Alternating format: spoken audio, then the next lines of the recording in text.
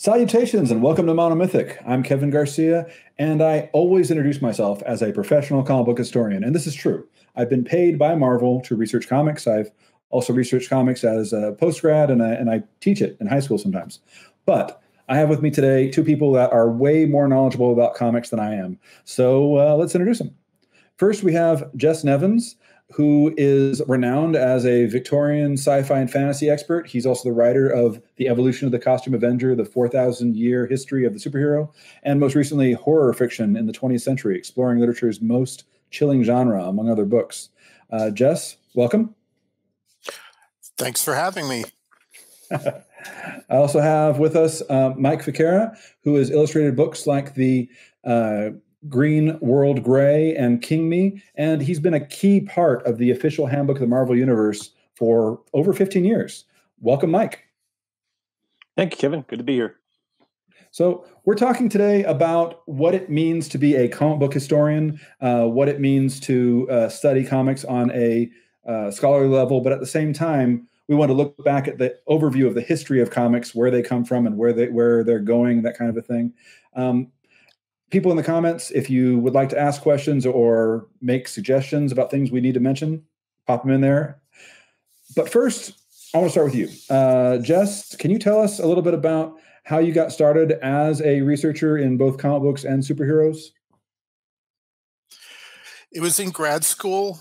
Um, I was taking a, a grad program in culture, American culture studies, and one of the things that really intrigued me was applying all this theory that I was learning about to one of my long held passions, which was superhero comics. And so I started doing research and writing papers about that. Um, and then once I got out of grad school, I just kept doing it. And when the internet, well, World Wide Web really took off, I was fortunate enough to put my annotations to the League of Extraordinary Gentlemen online. And then I attracted some fans who continued to support me no matter what I did. So that's the short version of how I got involved. That's actually how I heard about you as well. I remember reading your annotations early on. You also did um, in uh, back when GeoCities was a thing, you had a website where you tracked like uh, pre Fantastic Four Marvel characters that have never really been touched on again, and and another one of, of like public domain characters. Um, which, uh, speaking of pre Fantastic Four Marvel characters and stuff, Mike, uh, tell us about yourself. How did you become a professional researcher, where you would actually uh, do this uh, professionally, looking into comics? Sure. Um, well, my, my passion for Marvel Comics dates back to when I was a child growing up in, uh, in Queens, New York. As a uh, little nerdy, bespectacled um, uh, a kid, I naturally gravitated towards Spider Man. And I would uh, clip out all the newspaper strips in the, in the daily news into a notebook. And I was a pretty much a fanatic. And so when the internet came up and um, there was only a few strands of webs on the World Wide Web in around 1992, I discovered uh, spiderfan.org, uh, run by a fellow named uh, Jonathan Cooper from New Zealand. And uh, I began to contribute on Spider-Fan, uh, doing profiles of characters um, similar to the fashion of the official handbook of the Marvel Universe that I had grown up with. So it gave me a chance to profile characters um, with a, a worldwide um, audience. Um, I reviewed some some issues here and there. Um, then in the early 2000s, I think it was 2003, Marvel knocked on Jonathan's door and asked him if he would want to help Marvel write an encyclopedia of Spider Man. They were looking for help from um, experts uh, who knew stuff back into the 60s and the 70s. And um, it was a huge effort, and Jonathan needed help. So a bunch of us all chipped in to help him with writing the profiles for the encyclopedia and, and proof it. Um, and um, so I got in the special thanks there, which was a huge thrill. And then the next year, um, our editor Jeff Youngquist said, um, "How about we restart the official handbooks again? And who on this team would like to continue?" And so I rose my hand and said, "Sure." Uh, so my first book was uh, official handbook of the Marvel Universe 2004 for the Spider-Man book, Um, so I got to write a bunch of profiles for that, and then the following year in the 2005 Spider-Man book, and I've been doing that kind of research ever since. Um, our team is writing handbooks to date, and we are online on, on call for Marvel when questions arise and they need us to look something up. How often do you get calls to to actually do research back into the old issues and old characters? Uh, I feel like there's always a question that's on our plate for us to look up. Um, there's, you know, sometimes it's, can you guys dig into and make a list for us of the following things? Um, you know, uh, uh, uh, they'll make a spreadsheet for us of um, magical characters, or they'll say, um, well, we didn't know at the time, but during the, uh, the purchasing of Marvel by Disney, we were getting asked questions saying, "Can you make a list of the various families?" So, who's in the Fantastic Four family? Who's in the Guardians of the Galaxy family? Okay, so we were just putting together characters. Why? We didn't know. Uh, later, we found out they were taking inventory of who their their characters were and kind of blocking them into these families for the, all the legal reasons. Um, so questions like this pop up here and there. Um, um, right now, I'm working on a certain villains list that editorial asked us to put together. Um, so it seemed like there's always something for us to work on. I remember when the uh, Disney purchase was about to happen, uh, Joe Quesada uh, and others would go on interviews and say, Marvel has 9,000 characters. Marvel's 9,000 characters. And they turned to the handbook team and said, Can you count our characters and show right. what the 9,000 characters are? And it was basically just a matter of, well, what counts as a character? You know, Peter yeah. Parker, obviously. Aunt May, I could see an Aunt May movie. The guy that was his roommate for two months in the 70s, probably not. You know, so it was just, it, it was a neat way to, to, to do that. Yeah. Um, which uh, brings me to what I want to ask you guys. Um, is comic book historian a, a valid profession? Is this a valid form of academic study? Uh, Jess, uh, you, you've, like I said, done this academically a lot. Is Was there any pushback to doing comics or superheroes as a field? No, because I always made the argument that comic books are a medium, not a genre, and that superheroes are a genre just like movies, just like science fiction, just like horror. And nobody ever quarrels with a film historian who specializes in film noir. Well, I was specializing in superhero comics. And I don't see why anyone would object to comic book historian as a profession if you can get paid for it and make a living wage, great. There are not a lot of us out there, but if you can do it, that's that's wonderful.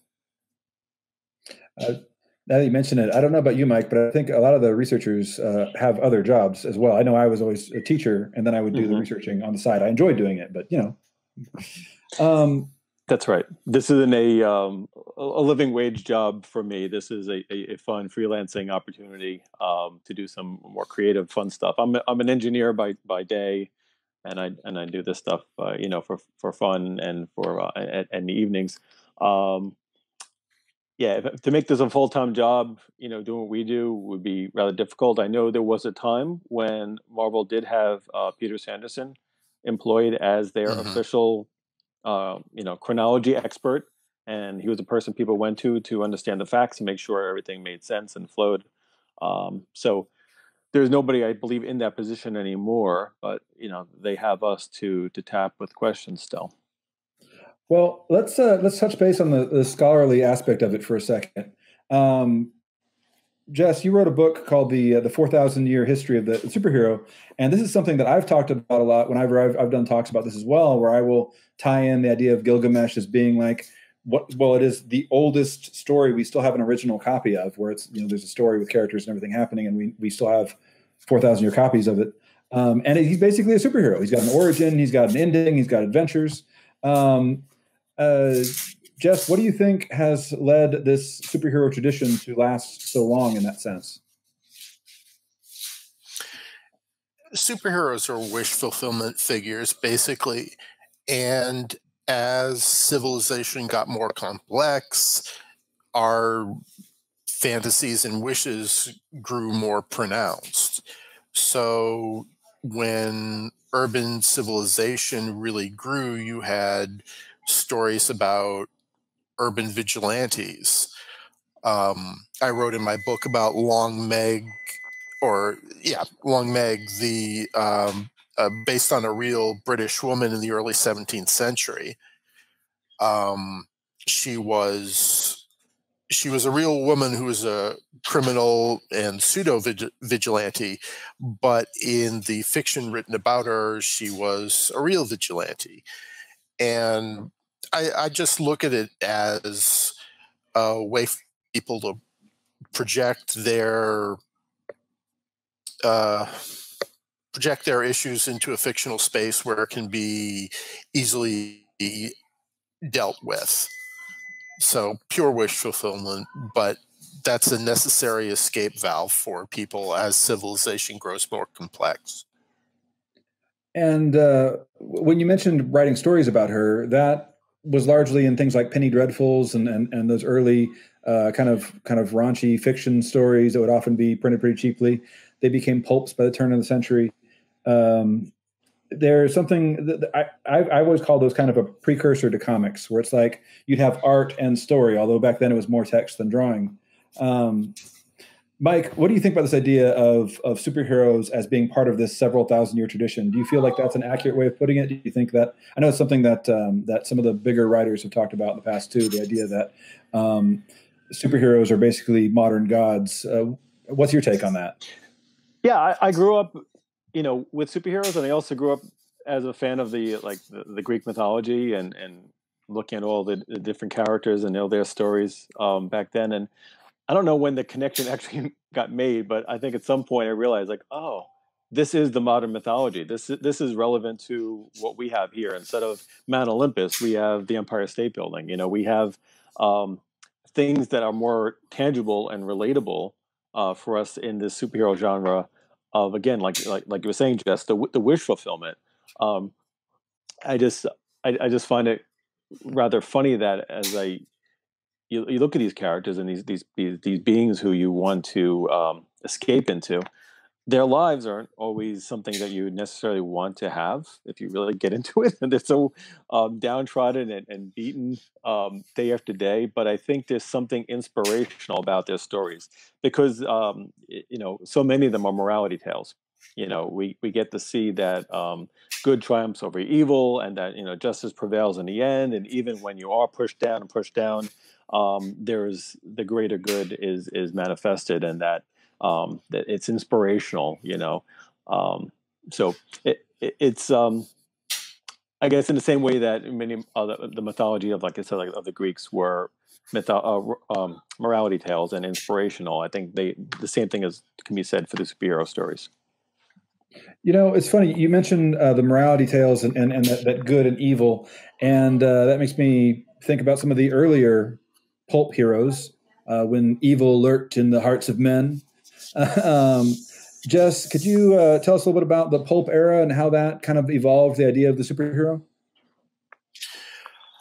The pulp sprang out of the dime novels, which sprang out of, out of the novelettes of the 1840s. So basically, you've got by the 1920s and 1930s, you've got nearly a century of mass produced, cheaply made, cheaply written popular culture, popular fiction, a lot of which features these fantasy characters.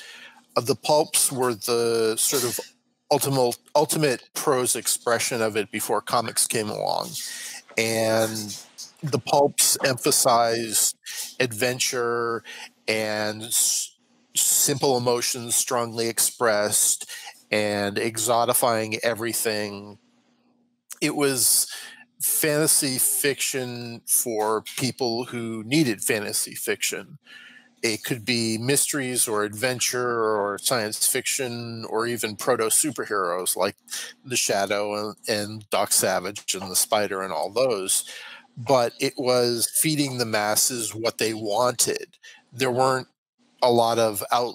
There weren't a lot of uh, outlets providing um, entertainment at the time and so they were they were filling the space that uh, TV would later would later take up and and uh, comic books. I know the Shadow and the Spider and others also had those radio adaptations, and and that kind of fed into that mythology before they actually became comics. Uh, Mike, what were you going to say?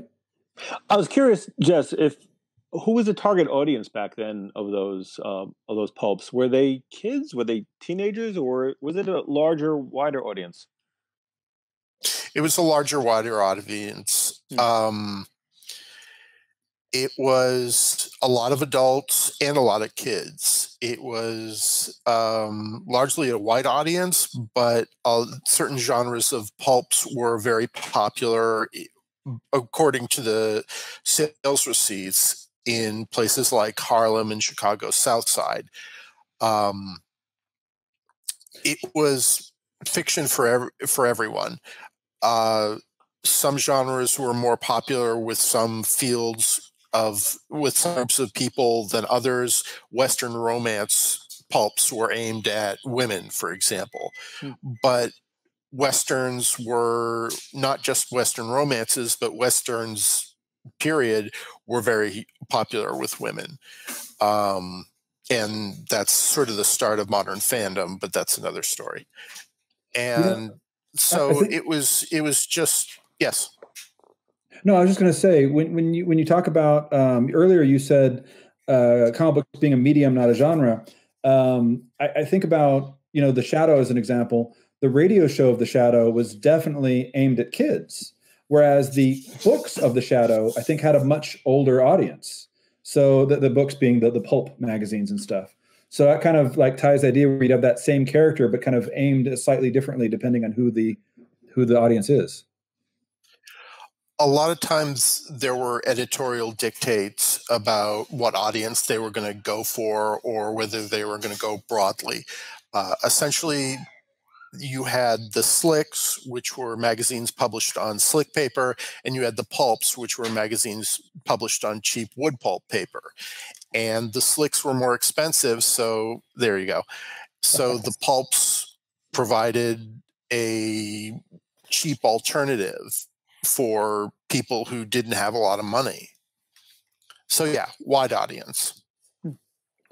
Um, one thing that uh, I think of when, when I talk about pulps is the idea that pulps would start off with this idea of being, you know, mostly mostly print, mostly prose, but they'd have art along with them. And as comic books began to take off, it it kind of transitioned where you'd have the artists and the writers who are doing these these essentially cheaper stories uh, but they'd swap places. Instead of being mostly writing and, and, a little bit of art, it'd become mostly art and a little bit of writing for the early comic books. Um, and I wanted to ask that that 1930s and 40s era when uh, when you know superheroes were first kind of kicking off. What do you guys think made those so successful at the time? Um, for for people who are new to comics, uh, the 1930s and 40s comic books were selling. Eh, eh, correct me if I'm wrong, you guys. I've heard in the in the millions of copies. Uh, I've, I've, the number I've heard often is like two million copies for a Superman issue, um, which it would be not till the 90s that comics would get anywhere near those kind of numbers again. Um, what do you think made them so popular during that time? Mike, you want to go first? Yeah, yeah I kind of wanted to touch base with Mike on this one. Sure, I wasn't sure. Um, I, I, think the um, the state of the world after two world wars, after depression, after you know everyone's coming home and rebuilding their lives. Um, you know, it's it's hard to imagine what life was like. It wasn't that long ago, but um, to to see so much devastation and death, um, you know, what that does to the morale of the society, to uh, you know, to your your emotions coming home and trying to restart again. Um, I think it was a big desire a cultural need of of heroes to look up to. I think there was a lot of uh, war stories of you know war heroes of um, you know tales of people who who did brave brave acts, but um, the thought of um, somebody who was um, larger than life, who can rise above it all and um, come and save the day, like Superman in action in action comics, or somebody just so brilliant like Bruce Wayne in Detective um, or Wonder Woman to have come along at the same time um, was was really exciting and inspirational and and it filled a real a real hunger at that time. Um, I think we still have that hunger, but I think it was um, it, it was it was novel for them having the spandex clad characters basically doing what like I was saying the, the mytho- mythological um, characters of Hercules or, or, Gilgamesh did before. So they were they were clever, I think, and and, and the timing was right. Uh, Bill Phil, Bill Field, who's uh, watching us right now, he's he's a animator and also a bit of a comic book historian himself. He, he mentioned that his grandfather was really into pulps and also would get into the stories of heroes like Green Lama. Um, Jess, were there a lot of uh, cross pollination, I guess, between the pulps and the comics? Uh, was it uh, was it just uh, like a, a, new thing? Did they was there a lot of back and forth? No, there was uh, very little. Martin Goodman had a, a little back and forth between his pulps and his comics, but uh, comics were purely viewed by pulp editorial staffs as competitors. And they weren't going to let their properties go and be used in in comics, especially because there were I I started an article but had to put it aside years ago on the number of Golden Age heroes who were ripoffs and lifts and copies of the pre-existing pulp heroes. So I I think there was almost a animus by pulp people toward comic books because comics and the creators of it were seen as predatory and sort of stealing all the good ideas, that sort of thing. I think they definitely stole some of the uh, the the um, I guess wind from their sails, one way of putting it, uh, because uh, by the time you got to the mid '40s, comics were doing those million dollar sales, and and even uh, Marvel, who who was not at the time uh, near DC's status, was still doing fairly well in the comics field. Um, and, and, and like you were saying with the pulps, there were also a variety of comics back then. There were uh, comics aimed at at, uh, at young female audiences. There were comics that were more cartoon animals and like that. But the superhero still kind of held on for a little bit. Um, it, it, waned toward the end of the 1940s. Um, Jess, what what do you think uh, in your research of looking at the history of the superhero? What caused the hero to kind of ri- the superhero specifically to kind of rise and fall as the, as the golden age was coming to an end? There's a lot of uh, theory. There are a lot of theories on that. I tend to think it was simply audience taste changing, but I think the idea of the decline of the superhero is a is a little overstated. Um, you had superheroes making transition into film and radio.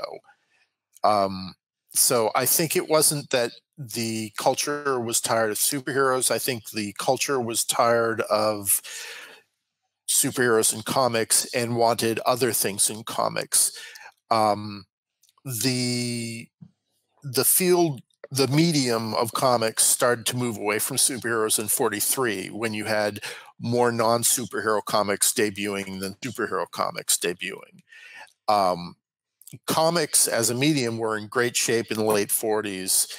Superheroes were appearing in film serials and radio. Um, it was just the genre's time to fade away to a limited degree. But even during the 50s, during the Wertham era, you still had superheroes debuting and such. You, mentioned the Wertham era, and I was going to say, as comics were kind of going through that little bit of a transition period, that's when uh, the big the big one hit, I guess, for comics. Comic book uh, historians today and, and comic book fans, as, as they get more and more into the industry, learn about this at some point. Seduction of the Innocent is is a book that gets a lot of attention, although there was already, I think, a move before this book came out, and a, a really big one after, of this concept of uh, superheroes as being, and not superheroes specifically, but but comic books in general, superheroes uh, as part of that, uh, as being this negative influence on kids. Uh, Dr. Wertham, for those who don't know, uh, was a very respected psychologist who'd actually done a lot of great work. Um, he'd argued against segregation, for example. Um, but his next big thing that he decided to go after was comic books. And uh, I, I, don't know about you guys, but I've actually read this book. Um, I, I, checked it out through interlibrary loan and, and I went to read it myself, and it is nuts. I think if you were to look at it today, uh, you would say that there's not any really valid research behind it. But at the time, a parent looking at this for the first time might, might really freak out. Um, Mike, um, you, you've heard the story a lot as well. What's your take on, on, on this this era where the beginning of the comics code came in and, and that kind of stuff? Well, I haven't read the book. I know about it, and I know I know the the ramifications of it. Um, and I, so correct me if I'm wrong. My impression of it, the the the targeting of the book was mostly about. I thought the the horror genre, the the tales from the crypt kind of um, characters who did some really gruesome stuff that I assumed that Wertham was trying to protect kids from seeing the severed heads and, and disembodied um, organs. Um, and well, that superheroes well, were kind of a, a, casualty of that. Is that is that correct? Uh, kind, kind of. I, I, I, Wertham's stated goal going in was that he, as being again one of the nation's preeminent psychologists, had been a, been given a chance to work with some of the most disturbed uh, juveniles of the time period that that they had. So literally, he had case study after case study of Jane Doe and John Doe, and you know the kids were not given their real names, but their ages were like between nine and, and 17 or 18 and and he would talk to them about what they read. And he would say things like, "All right, what did you read?" And, and I read a story about uh, a man who who murdered someone. And, and, and what did that make you want to do? It's like, well, when I saw uh, my little brother, I wanted to push him off the roof. And so he's literally talking to a, a little bit more than a dozen of some of the most disturbed student uh, students, children uh, of that time period. And he saw that what they all had in common was they all read comic books. So maybe it's comic books that's making them evil. Um, and uh, of course, at the time, as we said earlier with the numbers, just about all kids that age in the US were reading comic books. So the fact that these kids who were disturbed happen to be similar to other kids who were not trying to kill their little brothers, you know, they also read comics.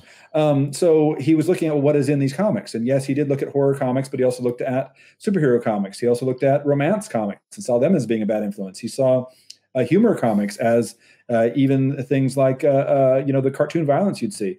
Uh, the, the famous quote that people always use is that he described Batman and Robin as being the wish dream of two homosexuals, and that would be drawing kids into sin. Um, and, uh, and I don't know how much Wertham himself gets credit for it, but but uh, following around this time period, as there was this fervor to to get rid of comics, uh, there were actually mass burnings in some places of comics. And there's there's you can see old like footage of these of, of people like getting so excited like yeah we're getting rid of these horrible things. Um jess uh, what, what's your take on that whole situation? Um there's a very base interpretation which is that it was all economic uh economically driven and that Wertham was a patsy um, I don't know that I buy that, but it was it was a time of cultural tension and one way that it expressed itself was in this hyper emotional very shrill concern for the kids. What about the children? And so Wertham came along at the time and found his patsy and beat the patsy up for as much as he could. And no. he got fame out of it. And oh, sorry. No, no, he, he no, sorry. Um, he, uh, he, he, he did get fame out of it. Um, comics uh, were, were threatened just as Hollywood around the same time with government intervention of government control. Uh, comic books reacted by creating what was called the Comics Code Authority, which was this little stamp shaped symbol that would go in the corner of uh, of comic books for for decades uh, that basically said that this has been cleaned. We are sure there's nothing bad in here, and that meant there could be uh, no outright murder, nothing sexual. There could be uh, they had specific things like no drugs, no undead, no uh, no occult. Um, if there is a bad guy, the bad guy must always be shown to be punished at the end. You could not have a story where the bad guy gets away with it. You could not have a story from the bad guy's point of view because he might be sympathetic. Um, and this led to um, ironically, I think, in my view at least, this led to this era of this pop comic book. Um, this led to some really silly comics in the 50s where DC, especially, but Marvel also to an extent, would would kind of go over the top with their characters and just be really, really goofy with them. Um, but that led to Batman, the TV show with Adam West, and that led to um, people like Andy Warhol and stuff wanting to like kind of take off this idea of the superhero, and it became kind of pop but silly. Um, and and I think for a lot of fans, it was this idea that comic books were given this tinge of being for kids now. Um, Mike, uh, you, we were talking a little bit earlier. Is this something that that uh, you feel kind of affected comic books as a as a medium for a while? This idea that comic books had to be for kids, and and, uh, and how did they get out of that? Yeah, I know they called like the 1980s the dark period of comics, but sometimes I think the 60s might have been with the um, with the, the, campiness that that um, that ran through things. Um, I'm not really a fan of, of camp, but yet I did, as a child, like the Adam West Batman. I, I kind of grew up with it. As did um, I. I. remember seeing in the TV guide it said uh, Batman comedy. I was like, "This is serious stuff. What do you mean comedy?" I was insulted.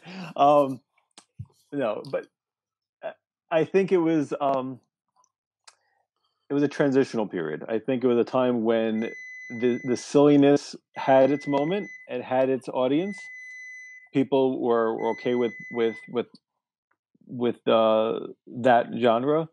Um, I think it kind of ran its due. I think it kind of ran its course. Um, I think by the '70s, they still saw a lot of campiness on TV, things like the Donny Marie show. I mean, there was still a lot of you know uh, knock knock jokes. You know, just things that look back as like you know, wow, that was funny back then. I remember laughing.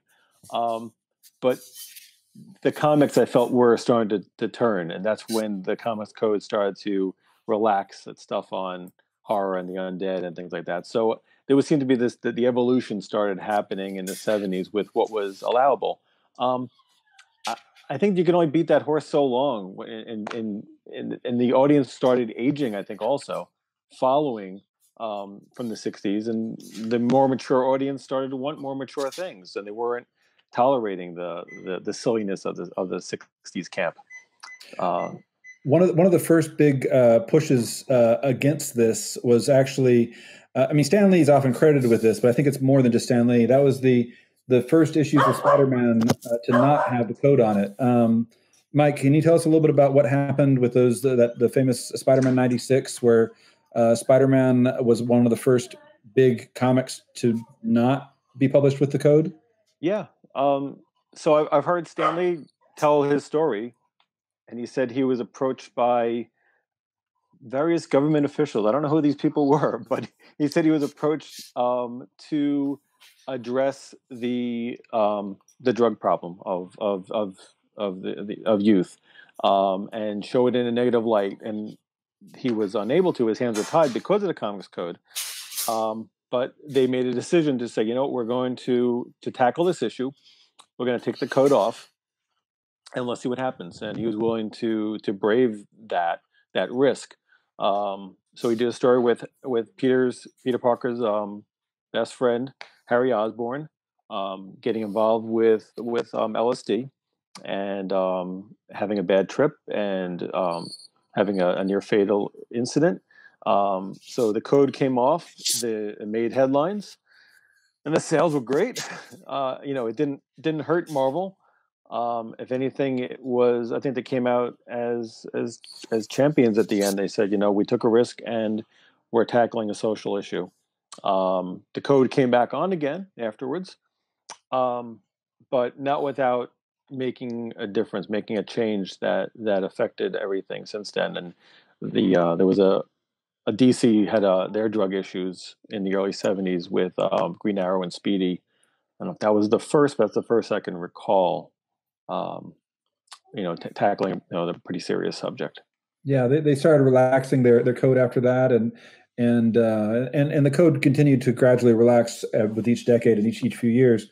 But, um, but yeah, around this time, uh, superheroes started being presented in the comic books, at least, uh, in a much darker tone. You would have things like the, the, the drug issues we talked about. There was uh, race, which became a real big factor in the Green Lantern and Green Arrow series.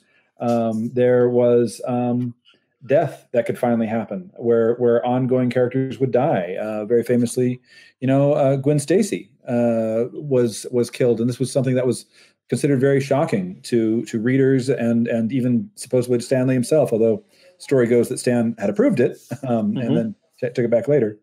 Um, uh, Jess, you had said earlier that superheroes were this kind of wish fulfillment, and I think uh, in the uh, especially the, the mid 40s and by the 50s, it was a very clean wish fulfillment. It was like the heroes were all good, the villains were all bad.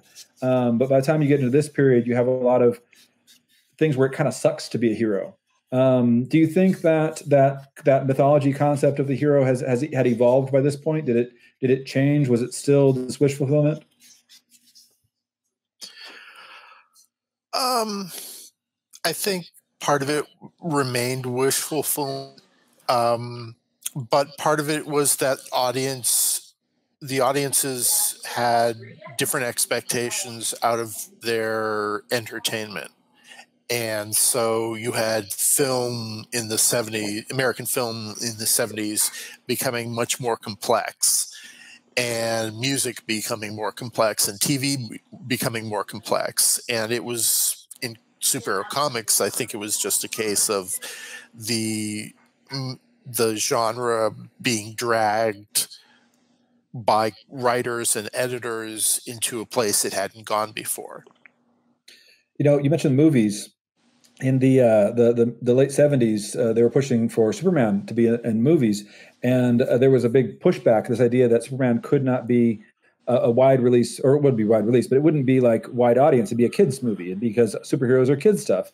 And I think comic fans at the time who were reading uh, like Mike was saying a second ago, you know, the, the more gritty Batman that was being out with Denny O'Neil and other people. Um, the, uh, the the X Men with uh, Chris Claremont was have, having more you know emotional stories that were happening. Um, they were ready for it, but uh, until they could really believe a man would fly with Superman, it it wasn't in that pop culture that superheroes could be for more than just kids.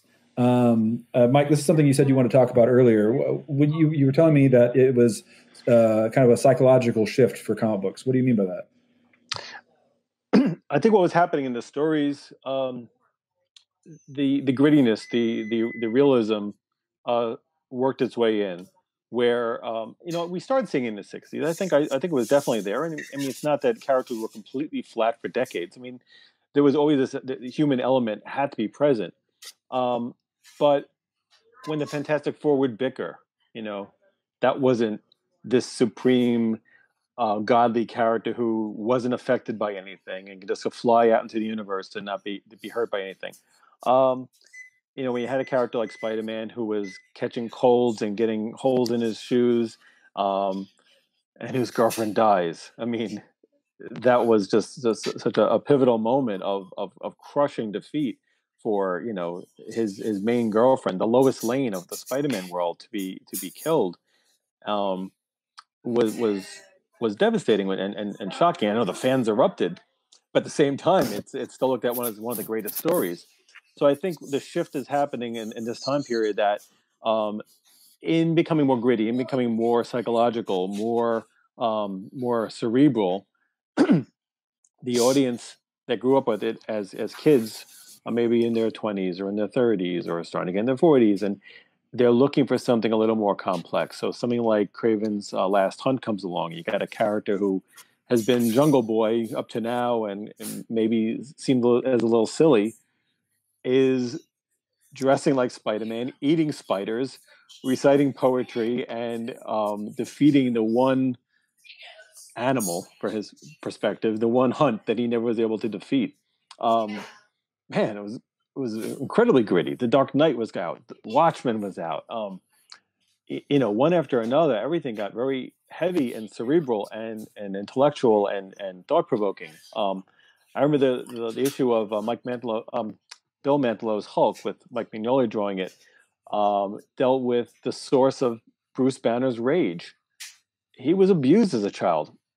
Whoa, his mother was was abused. I mean, it, it, all this stuff was buried in him and he actually was in this place called the crossroads where his inner psyche had manifested as psychological constructs. Um, it was just it was mind-blowing. Um, so the yeah, I think I think the audience was maturing and the the stories were maturing and, and differentiating. I think some of the first Marvel comics that I read, um, not the very first, but some of the first ones that I read were uh, Starlin's uh, Thanos and and Adam Warlock stories, and and they were just very much these psychological trips of like, what is the meaning of existence? And it just, you know, blew my blew my little kid mind. Um, but um, but something else was happening around this time of the 80s that that I want to draw this back to at the beginning of our conversation, which was um, studying the history of comics, and that is uh, there was a real push uh, towards continuity. This push towards tracking the history of the superheroes. Uh, you were brought in, Mike, specifically to show the history of Marvel, as you guys, your team, not, not you by yourself, but the team you were part of, uh, were brought in to make the official handbooks of the Marvel Universe. And uh, and Jess, as you would research things, a lot of what people would go to for you was this idea of, oh, where were th- how are things connected? Where does everything come from? Uh, Mark Gruenwald uh, famously uh, uh, spearheaded the official handbook project in the in the 90s, or sorry, 80s rather, and they would go into intense detail about what it, what it took to be a superhero and make them real, but also at the same time trace their history. Uh, DC around this time, up to this point, had been kind of fast and loose with their with their stories. Maybe they connect, maybe they don't. But after uh, Crisis on Infinite Earths, everything no everything counts now. Everything from here on out, it counts. You know. Um, uh, Jess, uh, as somebody who studied uh, superheroes from from more of a of a, a history point of view, um, does this idea of continuity come into play when you are when you're studying it? Is it more of, of the overview that you're looking at, or do you actually trace the the origins of characters in their own storyline as, as well? Um, when continuity is relevant, uh, I've done a fair amount of research into continuity as a storytelling tool used back in the Nick Carter stories of the 1890s and 1900s when continuity was actually a thing and was important. Um, so if if continuity matters to what I'm writing about, I will do research on that. But usually, I'm more interested in character concepts and who's influencing which portrayal of which character at the time but it it matters it depends on what i'm writing about really. Usually the bigger picture. Uh, mike there there's i've heard a debate among writers of comics and also critics uh, of whether or not continuity is vital. That some people say no. If you have a good story to tell, just tell it. Don't worry if it matches earlier stories.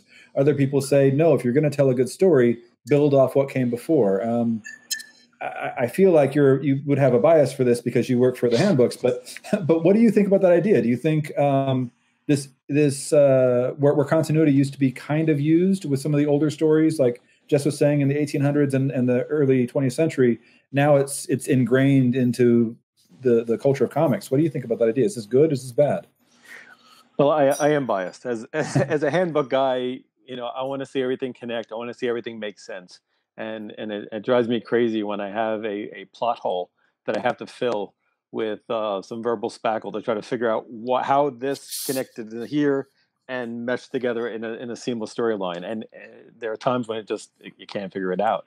Um, so the problem is with the, the, the growing audience. I mean, I think soap operas face this this problem of the dilemma of this long continuing storyline and trying to keep it interested and, and all well connected.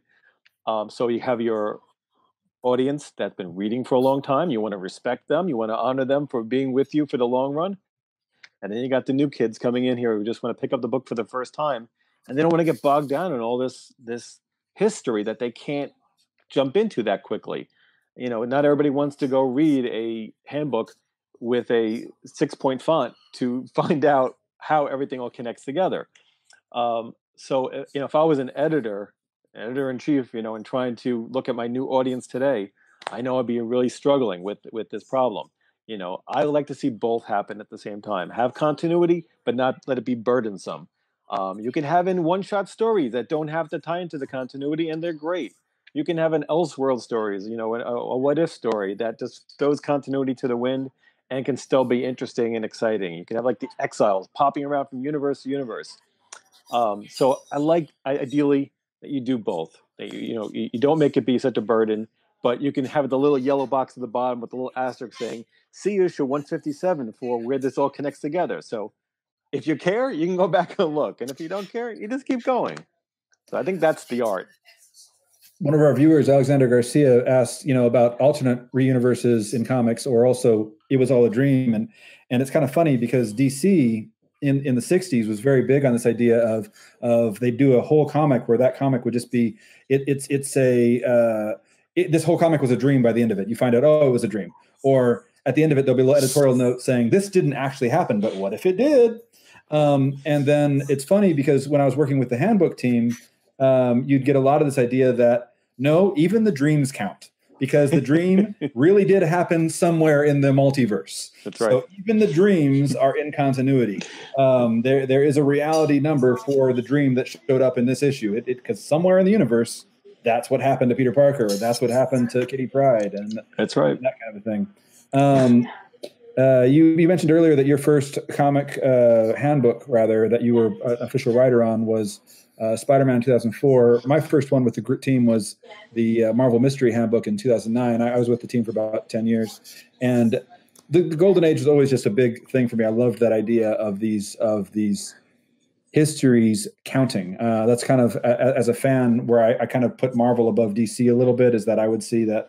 Um, whereas DC did have a history, they would have to retcon it every few you know years to decide how it works, and Marvel was doing that too but Marvel was doing it in the sense that we're going to retcon it so it still counts. So they were trying to find a way. Okay, wait, how was Captain America active in the 50s? We said he was in the ice. We're going to find a way to make it count. Right? so uh, wait, how did Red Skull go to hell in 1947? Uh, okay, we're going to find a way to make that still work. And and so I love this idea of of everything counts. It's all connected. Um, uh, uh, Jess, back to you for a second. Um, since you are looking at the big picture, um, do those uh, just a dream comics uh, affect it? Do retcons hurt or help or not make a difference at all in your research? Uh, what do you think about those ideas of of these alternate takes on the history? Um, I, I th- they don't really affect my writing because the the alternate takes and the elseworlds and what ifs and all that they're playing on the archetypal form of the character so it's the, the core elements of captain america are always going to be captain america even if sharon carter is wearing the mask and carrying the shield so um, they're interesting to note and they're fun to read. But as far as what I'm writing about, no, it doesn't really affect it. Um, you know, you know, it's funny you mentioned the archetypal thing. Um, the, the, I've given talks before about this idea of the archetype archetype of the superhero, and um, when I talk about it, I talk about superheroes and, and, this idea that it's been around for, for decades, and you have all these different writers, you know, being part of it. Uh, Bill Field uh, just mentioned here that Roy Thomas had to take what Stan Lee did and, and tie it into history. Um, I, I, look at that and I say this is what makes it modern mythology because in in ancient history you had oral tradition. And you would hear a story and you would tell it. And when you tell the story you might embellish a part of it that you thought was more interesting or you might leave out a part you thought was boring. Um, and over time you have this kind of this kind of uh, gestalt myth uh, myth that gets developed of like all the good pieces. And uh, and I was using Superman as an example of that in that Superman's story has been told, you know, in comics and radio, in, in cartoons and film, uh, and and each one kind of adds or takes different things. And we, as a society, if you ask people, you know, who is Superman's girlfriend, they know. If you ask what happened to Superman's dad, they go, oh, he died. Uh, and and whether they're thinking of uh, the uh, the recent movie or they're thinking of the cartoon series. Well, I don't think he didn't die in the cartoon. Or you're thinking of the, the comics from from the older days, or you're thinking of the movie that idea of Superman's dad dying became part of something we held on to. Um, so it's like we as a society kind of look at the parts of the hero's story that we liked and just kind of hold on to that. So even if the retcons have changed and even if the stories have evolved, we still kind of hold these parts to be that is who the hero is in our head. And it becomes kind of this modern oral tradition. Jess, you look like you want to jump in on that one. Well, yes, but uh, I think it can't be forgotten that the two main corpuses, corpi, corpuses, corpus uh, of myths that we had, both were synthesized by a central figure. You had the Greek myths with Hesiod, and then you had the Viking myths with Snorri Sturluson.